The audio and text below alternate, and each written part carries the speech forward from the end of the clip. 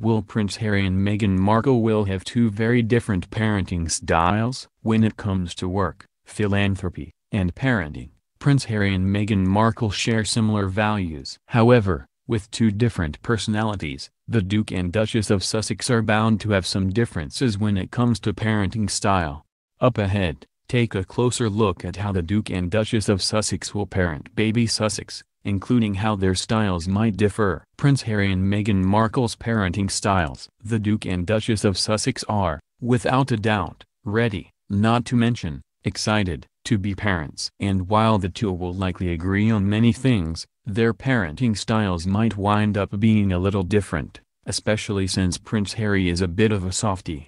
They both want a private, normal life for their children. While they might not talk about it all the time, Prince Harry and Meghan Markle have made their wants for this phase of their life clear through actions like moving to the countryside. Prince Harry knows firsthand what it's like to grow up behind palace gates and doesn't want the same for his children, which is why he and the Duchess of Sussex decided to pack up and leave Kensington Palace for Frogmore Cottage, a country home on the grounds of Windsor Estate.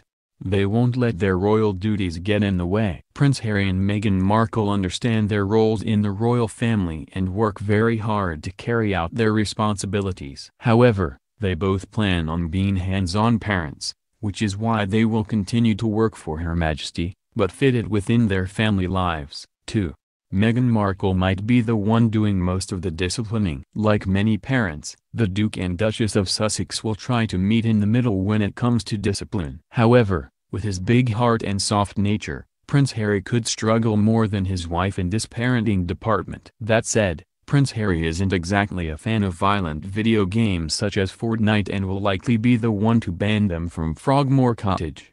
Prince Harry will pass on his love of sports. It's no secret that Prince Harry loves sports. The Duke of Sussex is an avid soccer fan and also founded the Invictus Games, a multi-sport event where wounded, injured, or sick veterans compete. His love of sports will likely rub off on his kids. Additionally, Meghan Markle also loves sports. The Duchess of Sussex is particularly fond of tennis and is always ready to support her best friend Serena Williams. They both plan to be hands-on. Similar to Prince William and Kate Middleton, Prince Harry and Meghan Markle plan to be hands-on parents. Despite their royal status, they will likely participate in their schooling and after-school activities. They will both weave philanthropy into their children's lives. Philanthropy is very important to Prince Harry and Meghan Markle. As members of the royal family, the Duke and Duchess spend a lot of their time working with organizations and causes close to their hearts and will undoubtedly pass their passions on to their children.